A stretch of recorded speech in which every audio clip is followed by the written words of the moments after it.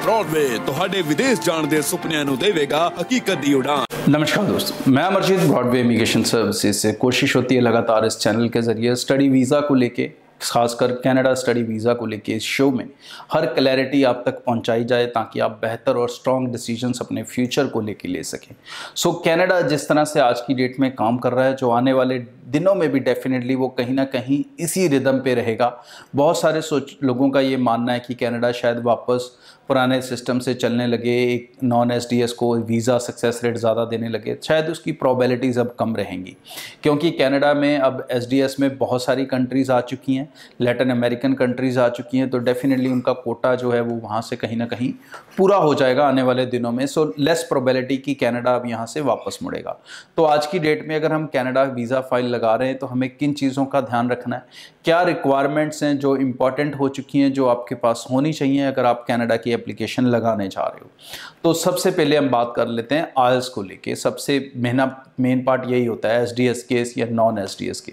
सो जब हम S case की बात करेंगे तो उसमें आप ये समझें कि आयल्स का सिक्स ईच होना ज़रूरी है। तो डेफिनेटली इतनी रिक्वायरमेंट आप ज़रूर फिलफिल करते हो। अगर आप नॉन एसडीएस केस है नॉन एस केस में बच्चा क्या करता है कि वो लोअर साइड को मैच करता है, क्योंकि पीटी के अंदर क्या होता है कि एक बैंड होता है, कि एक हायर साइड होती है, एक लोअर साइड होती है लाइक 42 टू 50 51 टू 57 या एट सो ये जो आप लेते हो हमेशा लोअर साइड को 42 को 51 को 52 को अम्बेसी देखेगी higher side of result so PT के बेस पे अगर हमें स्कोर लेना है तो कहीं ना कहीं हमारा टारगेट ओवरऑल स्कोर 60 से अबव होना चाहिए और मिनिमम स्कोर भी 58 या उससे अबव हो तो ही हमारे ज़्यादा प्रोबेबिलिटी टू गेन वीज़ा है। और ऐसे स्कोर लेने वाले बच्चे आराम से आल्स में सिक्स ईच ले सकते हैं। तो उनको तो मेरी ये भी एडवाइस है कि भाई आप आल्स का ही सिक्स ईच बनाओ तो ज़्यादा अच्छा है। अब आयल्स का जो स्कोर है, उसमें किसी एक मॉड्यूल में 5.5 अब इसमें इक्का दुक्का वीज़ा दिख रहे हैं और उसे देखते हुए ही बहुत सारे एजेंट्स अभी भी स्टिल एडवर्टीजमेंट्स कर रहे हैं। स्टिल बच्चों की फाइल्स उसी तरह से लगा रहे हैं। तो I advise you guys you are purely wasting your time and energy अगर आप आल सिक्स सीच नहीं बनाना चाहते या आप नहीं बना पा रहे हो तो कनाडा आपके लिए बहुत चैलेंजिंग होगा। रिफ्यूज़ल आने की प्रोबेबिलिटी बहुत ज़्यादा हाई रहेगी। So that is a first thing second part है एकेडमिक एकेडमिक्स की जब हम बात करेंगे, अगर आप ग्रेजुएट हैं तो अबव 50 परसेंट हैं टू इस टू टू की आपकी डिग्री है सेकेंड डिवीज़न में आप पास आउट हैं तो आप सेफ़ हैं, कोई प्रॉब्लम नहीं है। एकेडमिक का इतना स्कोर सफिशेंट है। बट अगर आप टेन प्लस टू हैं देन इट इज़ इंपॉर्टेंट कि आपके किसी भी सब्जेक्ट में 50 से कम तो स्कोर बिल्कुल भी ना हो। और अगर आपकी मार्कशीट ग्रेडिंग वाली मार्कशीट है, बहुत सारी सीबीएसई ई की खासकर ग्रेडिंग वाली होती हैं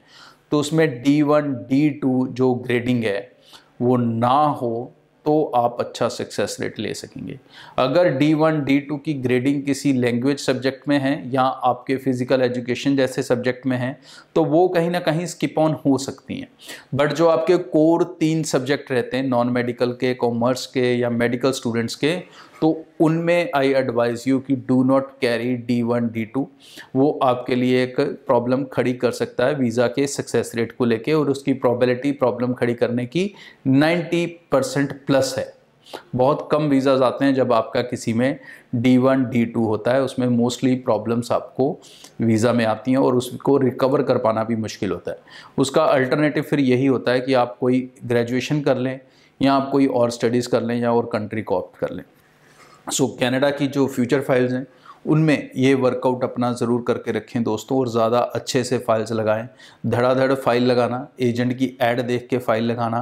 पैकेज के चक्कर में फ़ाइल लगाना आपके लिए रिफ्यूज़ल खड़ी करेगा। उसके लिए एक लॉटरी सिस्टम हो सकता है कि सौ लगाई हैं दस निकल जाएँगी पैकेजेस बड़े बड़े किए हुए हैं अम्बेसी फ़ीस खर्चा ये वो कितना आया होगा एक फ़ाइल पे बीस हज़ार वो सारे खर्चे निकाल लेगा उसकी अपनी एक कैलकुलेशन होती है लेकिन आप सिर्फ अपने रिफ्यूज़ल लगवा लोगे स्टैम्प्स पे so please try to understand this और थोड़ा सेफली अपनी एप्लीकेशंस को आगे चलाएं नमस्कार